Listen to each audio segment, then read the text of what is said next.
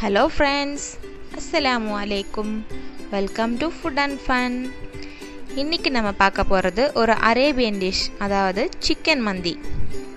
Chicken mandi குயிக்காக ஈஸியாக டேஸ்டியாக எப்படி செய்யலான்றதை பார்க்கலாம் வாங்க. நான் இங்கே ஒன் கேஜி சிக்கன் எடுத்திருக்கேன். அதை நல்லா வாஷ் பண்ணி இப்படி ஸ்டெயின் பண்ண வச்சுருக்கேன். அண்ட் கொஞ்சம் பெரிய பீஸாக எடுத்துக்கோங்க மந்திக்கு. அப்போ தான் நல்லாயிருக்கும். இதை மசாலா பிடிக்கிறதுக்காக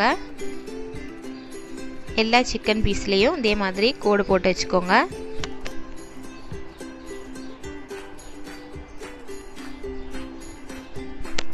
அண்ட் ஒரு பெரிய பாத்திரமாக எடுத்துக்கோங்க. அதில் நான் ஒரு மூணு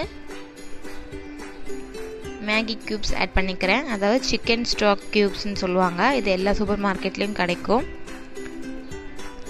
அது கூட கொஞ்சமாக உப்பு சேர்த்துருக்கேன். ஏன்னா அந்த க்யூப்ஸ்லேயே வந்து ஆல்ரெடி சால்ட் இருக்கும். ஸோ உப்பு வந்து கம்மியாக சேர்த்துக்கோங்க. அண்ட் ரெண்டு டீஸ்பூன் அளவுக்கு மிளகுத்தூள் எடுத்திருக்கேன். பெப்பர் பவுடர் அது வந்து ரெண்டு ஸ்பூன் அளவுக்கு எடுத்திருக்கேன். அது கூட ஒரு கால் ஸ்பூன் அளவுக்கு கரம் மசாலா. ஒரு முக்கால் ஸ்பூன் அளவுக்கு தனியாத்தூள்.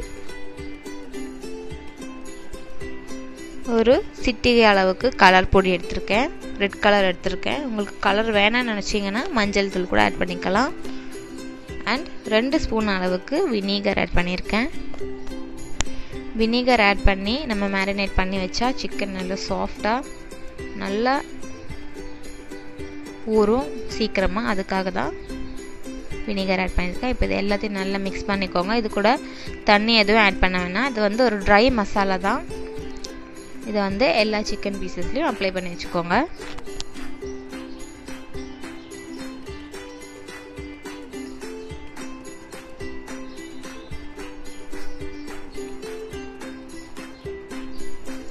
இதே மாதிரி எல்லா சிக்கன் பீசஸ்லையும் அப்ளை பண்ணிவிட்டு ஒரு ஒன்லேருந்து ரெண்டு மணி நேரம் வரைக்கும் நல்லா ஊற விட்டுருங்க. வெளியும் வச்சுக்கலாம். ஃப்ரிட்ஜில் வச்சா இன்னும் நல்ல சாஃப்டாக இருக்கும் சிக்கன் ஸோ ஃப்ரீசரில் வைக்க வேணாம். ஃப்ரிட்ஜில் ஒன் ஆர் டூ ஹார்ஸ் வரைக்கும் வச்சு எடுத்துக்கோங்க. இப்போ ஃபைனலாக இது கூட கொஞ்சமாக ஆயில் சேர்த்து ஆயில் சிக்கன் பீசஸில் எல்லா சைடும் ஆற மாதிரி லைட்டாக மிக்ஸ் பண்ணிவிட்டு இதை நம்ம ரெஃப்ரிஜிரேட் பண்ணிக்கலாம்.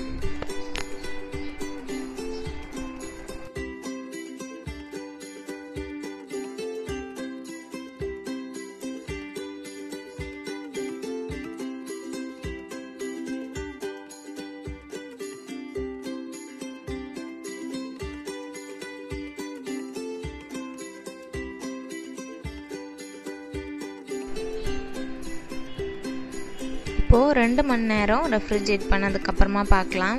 பார்த்திங்கன்னா மசாலாலாம் நல்லா பிடிச்சிருக்கு. நம்ம லாஸ்ட்டாக ஆயில் அப்ளை பண்ணதுனால மசாலாலாம் இதுலேருந்து மெல்ட் ஆகாமல் அப்படியே பிடிச்சிருக்கும். ஸோ இப்போ இதை வந்து அடுப்பில் வச்சுக்கலாம்.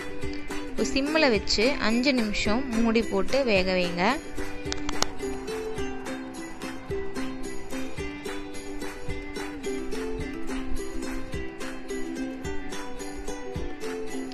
அஞ்சு நிமிஷத்துக்கு அப்புறமா இந்த இன்னொரு சைடு மறு சைடு திருப்பி போட்டு அது ஒரு அஞ்சு நிமிஷம் மூடி போட்டு வேக வைட்டு வேக வைங்க.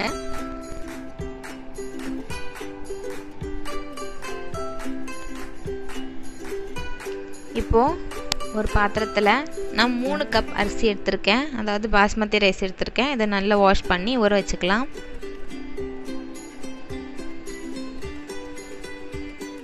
இப்போது சிக்கன் பார்த்தீங்கன்னா ரெடி ஆயிடுச்சு. ஒரு ஃபிஃப்டி பர்சன்டேஜ் குக் ஆனால் போதும். ஸ்டவ் ஆஃப் பண்ணிவிடுங்க இப்போது நான் இங்கே ஒரு ஃப்ரை பேன் எடுத்திருக்கேன்.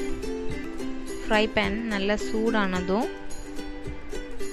அதில் ஒரு டீஸ்பூன் அளவுக்கு பட்டர் ஆட் பண்ணியிருக்கேன். பட்டர் வந்து பேனோட எல்லா பக்கமும் மெல்ட் ஆகிற மாதிரி இந்த மாதிரி சுற்றி விட்டுக்கோங்க.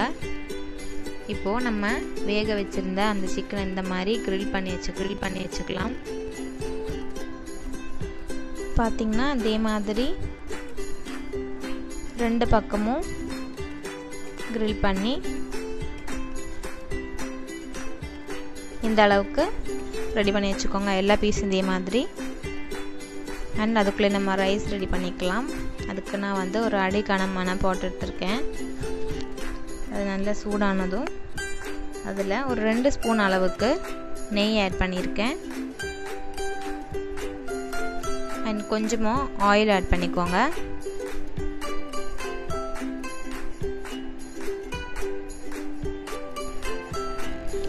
ஆயில் நல்லா சூடானதும் நான் இங்கே ஒரு ட்ரை லெமன் அண்ட் ஒரு டீஸ்பூன் அளவுக்கு மிளகு அண்ட் ரெண்டு டீஸ்பூன் அளவுக்கு முந்திரி பருப்பும் ரெண்டு டீஸ்பூன் ட்ரை கிரேப்ஸும் ஆட் பண்ணியிருக்கேன் கூட நாலு கிராம்பு.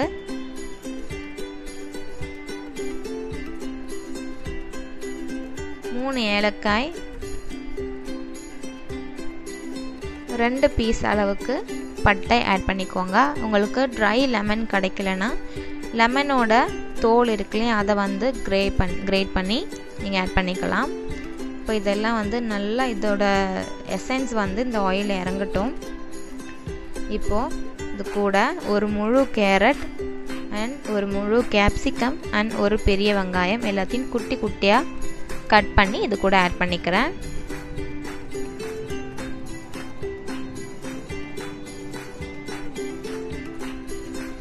இது லைட்டாக ஃப்ரை பண்ணிக்கோங்க. ரொம்ப ப்ரௌனிஷாக ஆகணும்னு அவசியம் இல்லை. லைட்டாக டிரான்ஸ்பரண்ட் ஆனால் போதும்.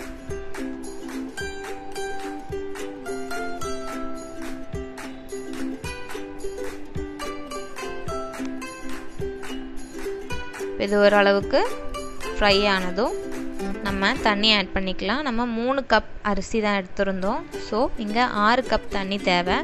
அதுக்கு நான் வந்து அஞ்சு கப் வந்து நார்மல் வாட்டர் ஆட் பண்ணிக்கிறேன். ஒரு கப் நம்ம சிக்கன் வேக வச்சுருந்த அந்த மசாலா இருக்கு இல்லையா? அதில் தண்ணி மிக்ஸ் பண்ணிவிட்டு ஆட் பண்ணிக்கிறேன். அந்த மசாலா வாட்டரை அதையும் அளந்து எடுத்துக்கோங்க. ஸோ இந்த தண்ணியை வந்து மூடி போட்டு நல்லா கொதிக்க விடுங்க.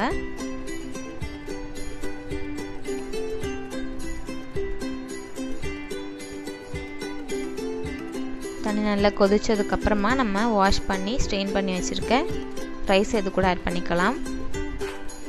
ரைஸை ஆட் பண்ணதுக்கப்புறமா உப்பெல்லாம் சரி பார்த்துட்டு திரும்ப மூடி போட்டு ஹை ஃப்ளேமில் கொதிக்க விடுங்க.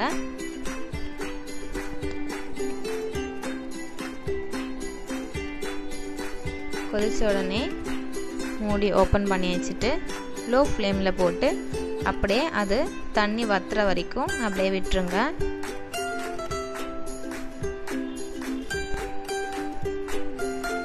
தண்ணி இந்த அளவுக்கு வத்தினதுக்கப்புறமா ரைஸ் எல்லாம் சமப்படுத்தி விட்டுட்டு அதுக்கு மேலே நம்ம மூணு பச்சை மிளகாய் எடுத்திருக்கேன்.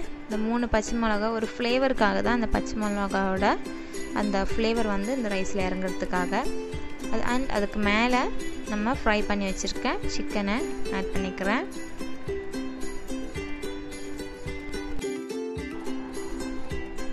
அதுக்கு மேலே கொஞ்சமாக மல்லி இலை அதாவது கொத்தமல்லி இலை ஆட் பண்ணிக்கிறேன்.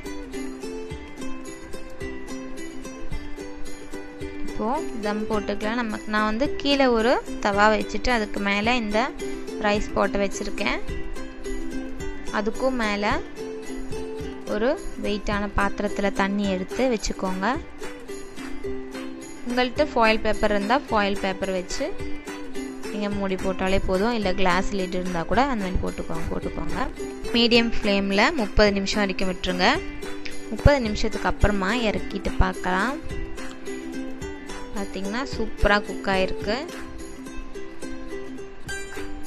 அவ்வளோதான் நம்மளோட சிக்கன் மந்தி ரெடி இப்போது இதில் சிக்கனை தனியாக எடுத்து வச்சுட்டு ரைஸை நீங்கள் மிக்ஸ் பண்ணிவிட்டு சர்வ் பண்ணலாம்.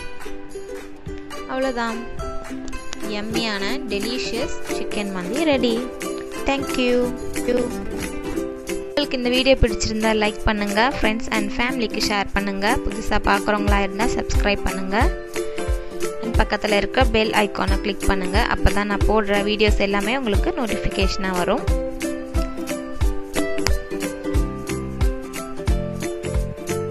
இந்த ரைஸ் கூட நான் மயனஸ் அண்ட் சல்சான்னு சொல்கிற ரெண்டு சைட் டிஷ் வந்து பண்ணியிருக்கேன் சாஸ் இந்த சாசஸ் வந்து ஆல்ரெடி நம்ம ப்ரீவியஸ் வீடியோவில் போட்டிருக்கோம். பார்க்காதவங்களுக்காக நான் டிஸ்கிரிப்ஷனில் கண்டிப்பாக லிங்க் கொடுக்குறேன். செக் பண்ணிக்கோங்க. தேங்க்யூ